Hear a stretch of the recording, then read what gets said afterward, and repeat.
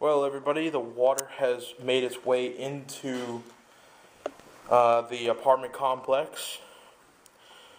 As you can see here in Worcester, um, it is coming down at a flow streaming rate, and as soon as it gets over here into this corner, it's going to get into my apartment and flood us out again.